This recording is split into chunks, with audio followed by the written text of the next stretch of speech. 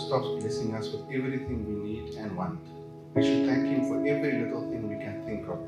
We should never stop thanking Him. Ya Allah, your blessings are always more than my gratitude. Shukr, Ya Allah, for letting me see this day with the spouse that you have written for me. To my parents who have given me so much love and guidance, shukran for bringing me to this day.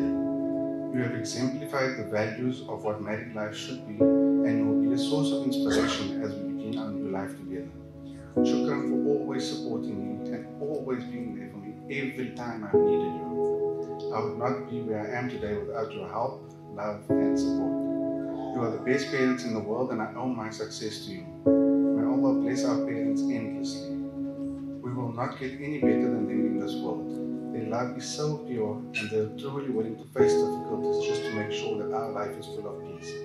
May Allah bless them and grant them paradise, inshallah.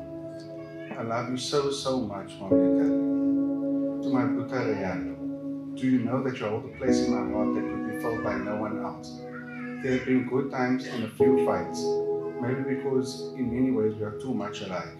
I've never said it as much as I should have, um, and maybe the time of the mood never seemed right, or perhaps there's something in me that keeps me from saying it to your face as much as I should, but regardless, I want you to know that I love you. Do you know how proud I am of you and all your accomplishments? Yet above all, I'm still proud of the wonderful person you've become.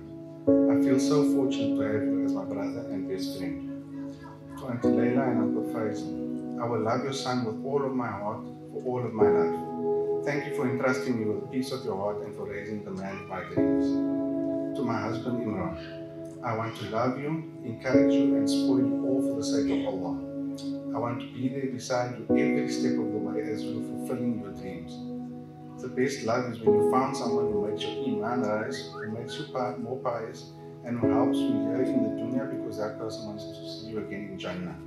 My husband, you are my gift from Allah, Alhamdulillah. When I tell you I love you, I am not saying it out of habit.